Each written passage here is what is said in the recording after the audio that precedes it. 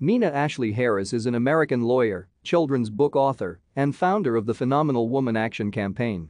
In June 2020, Harris released her first book from HarperCollins entitled Kamala and Maya's Big Idea, which is based on the story of her mother, Maya Harris, and aunt, Kamala Harris.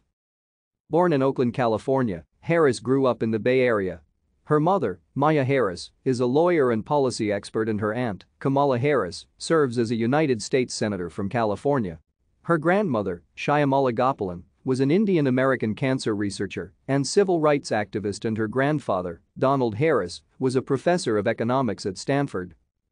Harris received her bachelor's degree from Stanford University in 2006 and her JD degree from Harvard Law School in 2012. Harris is the founder of the Phenomenal Woman Action Campaign, founded in 2017 as an organization that brings awareness to social causes.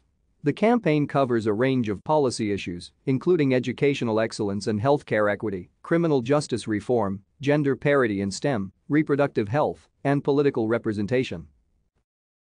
Thank you for watching. Like and subscribe if you would like to view more of our videos.